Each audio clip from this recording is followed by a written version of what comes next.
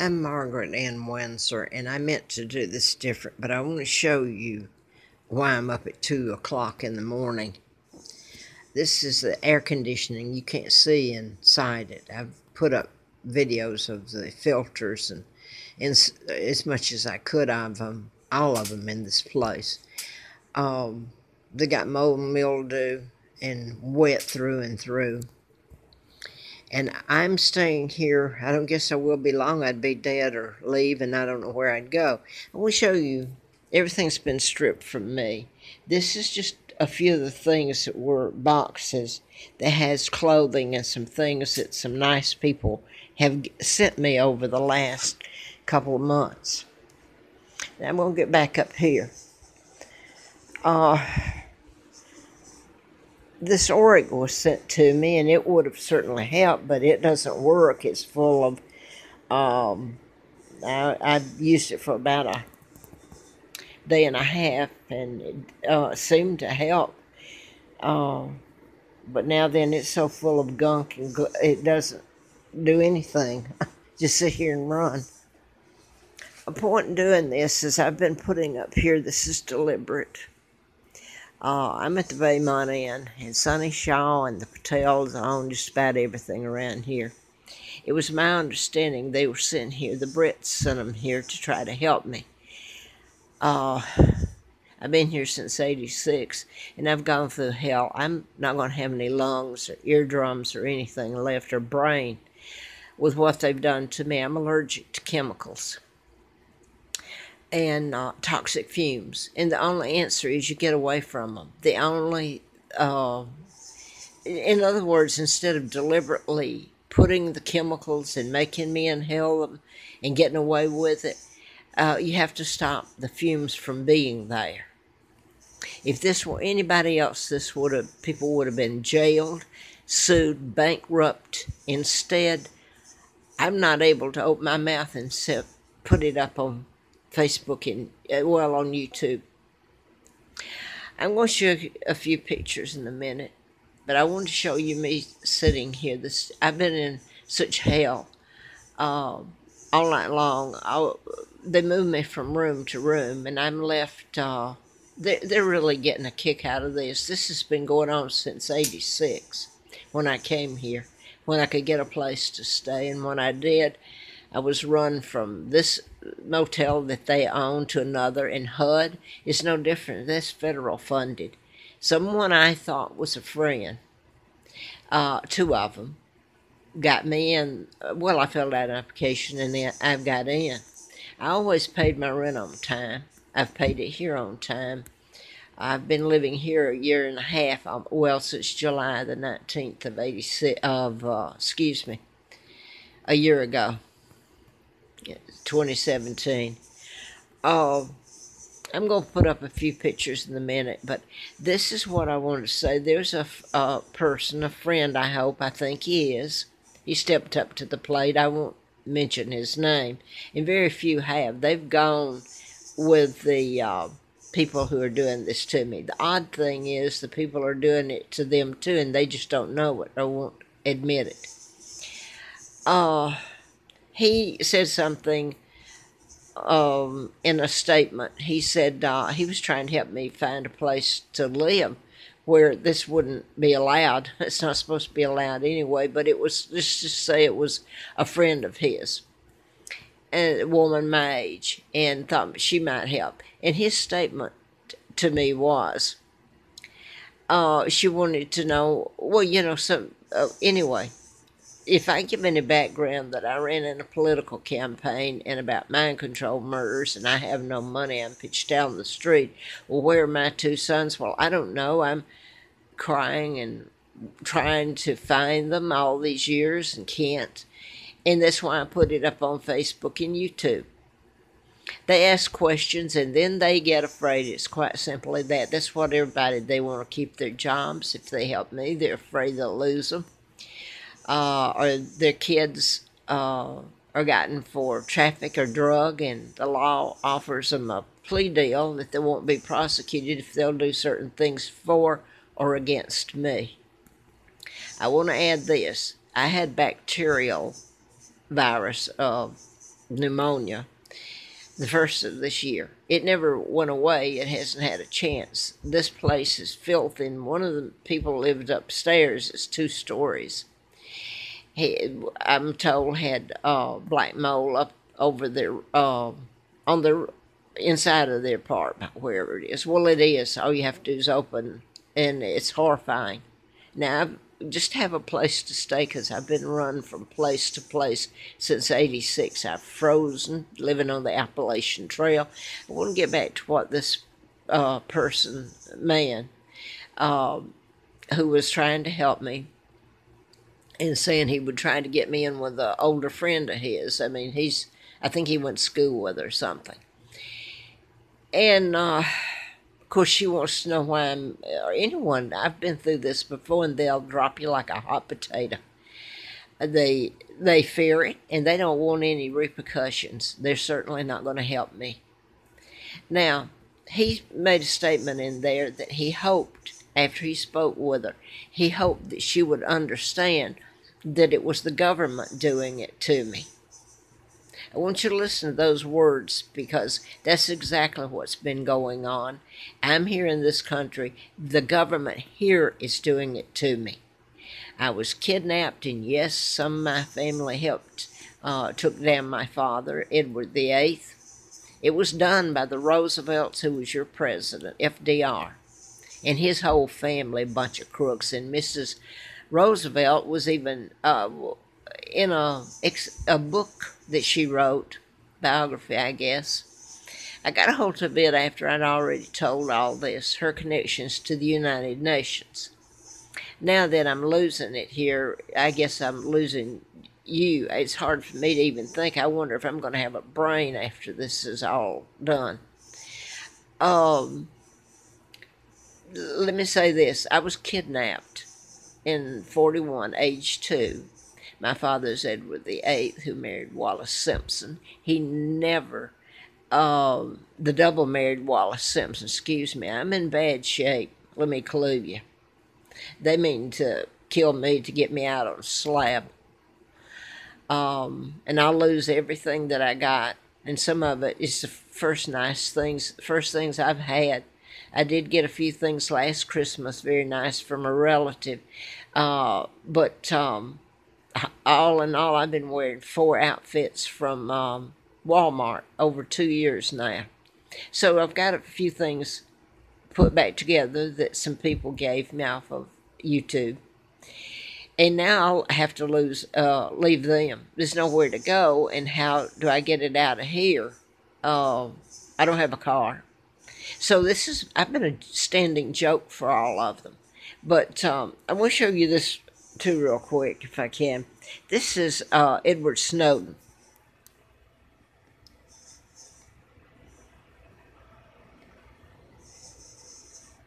He was the one telling uh, about the government, and um, he's in Russia. He was exiled to Russia, and you don't even hear about him anymore. Now then, I'm going to let you uh, if this is rambling to you, you should walk in my shoes a second. See if you could do this.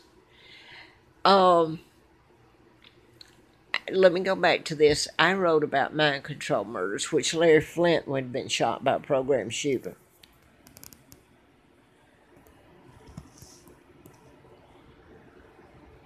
He even says in that that um, I know who was responsible for his shooting in Lawrenceville, Georgia. I was living in Marietta at Moonraker Apartments doing the book, trying to tell about mind control, how you can cure an illness or create it, or um, have someone die of cancer or cure it, um, on and on. It's the belief, and the Tesla's files went missing or stolen, and um, the Illuminati is the one that had it probably still does, but anyway, they control everything anyway out of the United Nations. Uh, so let me stick to this if I can, because right now it's hard to even breathe. It's like my whole lungs are blistered, my head, my ears have been uh, already lost. Uh, uh, part of my eardrum burst on this side um, almost a year ago now when the the viral bacterial viral pneumonia. And I never got over it because how can I? It's not, you think it's, I can just walk out the door and get something. Heck no. When I leave here, I'll, if they don't leave me in a casket or something or worse, uh, I'll lose what few things I have just trying to get to another place, which is still here in the United States. And the government's doing this to um, Snowden. They're doing it to me. And that's what the man come out and said, plain blank, blank. I can't even talk. The fact that they have been allowed to do this to my family, my sons, God knows where they are, to me, ongoing, and people stand around and they participate in it, they're not going to lose their jobs and their retirement. And to hell with me, their sons and daughters will stay alive and do well. They won't go to jail.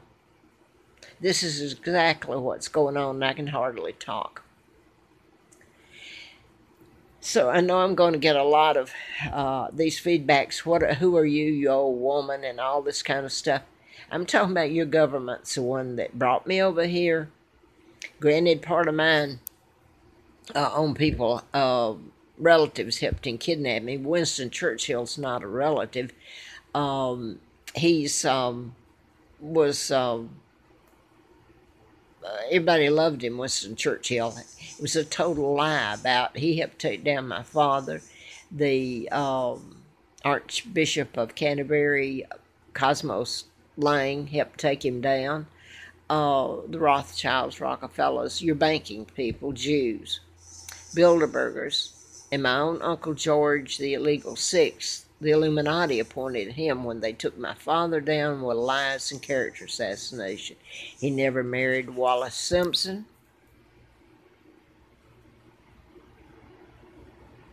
She married a double. And um, my father was married to Claudia Ruth O'Keefe. She was school teacher from uh, Madison, Wisconsin. George O'Keefe's my aunt, the artist. So the things they've done to me throughout my life, and I'll soon be 80 years old. But now that I can't, uh, this is so bad.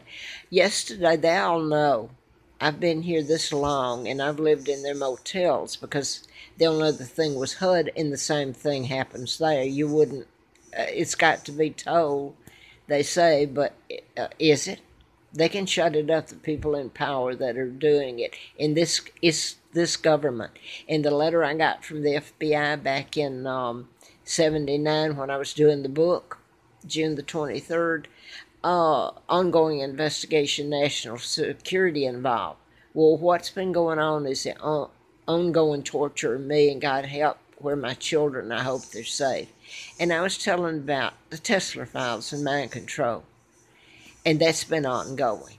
So they have I don't know. I give maybe too much credit to some agencies that maybe they helped save my life. It's the Brits that helped save my life, and some of the FBI. I feel, but the gov this is the government that's doing this to me, and the people stand around and walk away. They can't walk fast enough, like Noe, the FBI agent I met up in Grottoes when I still had that hustler car. couldn't afford the gas, so I'm pumping gas and living in Grottoes and working in a convenience store.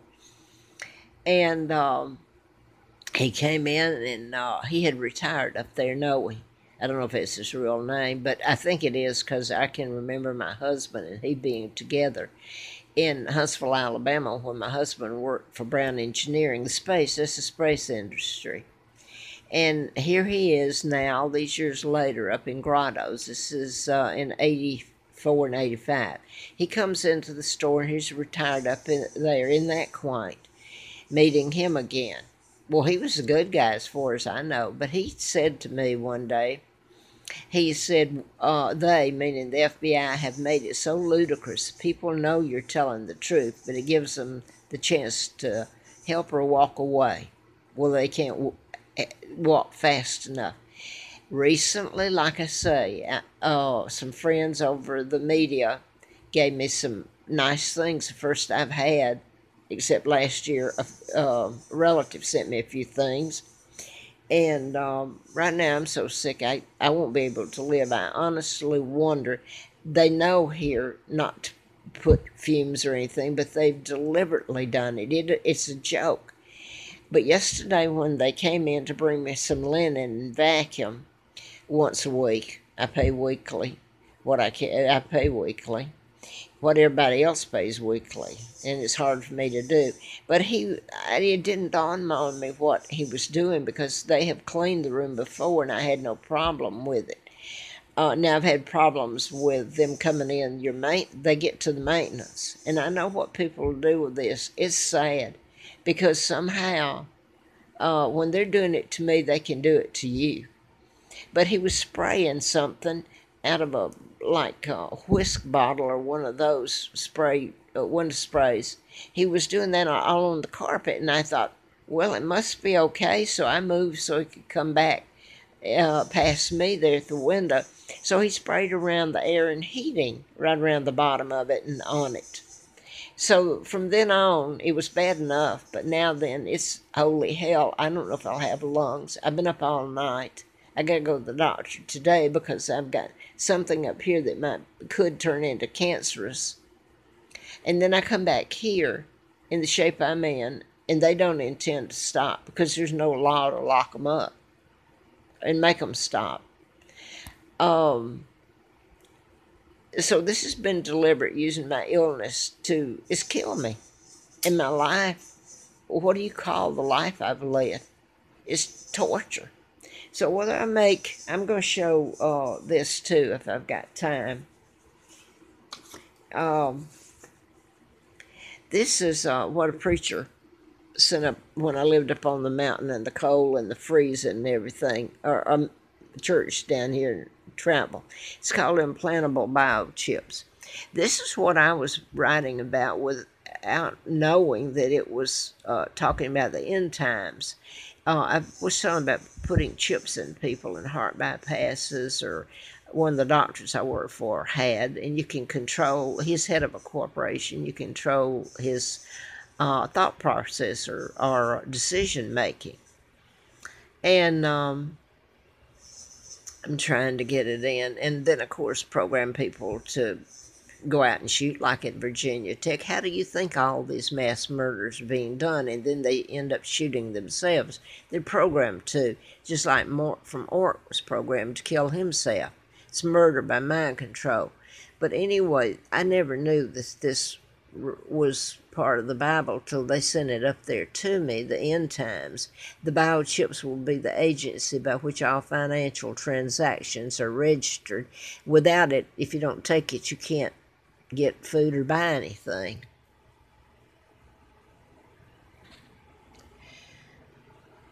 It's called Project Lucid and it talks about revelations. And what I had been writing about back in 76, 78 Timothy McVeigh told everybody he had Chip put up his buttocks by the U.S. Army. He went on to be put to death for bombing of the Murrah Federal Building in Oklahoma City. So this is what I was writing about before this was ever in print.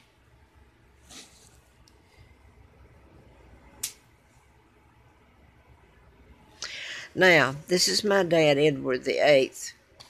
He never married this American spy. He's married to a beautiful lady. They lied because he wouldn't take orders from the Illuminati that took him down and replaced him with my uncle. This is Roosevelt. Uh, Roosevelt appointed Joe Kennedy as ambassador to England in 36 when my father became king for the sole purpose of taking him down with the uh, Rockefeller's Rothschild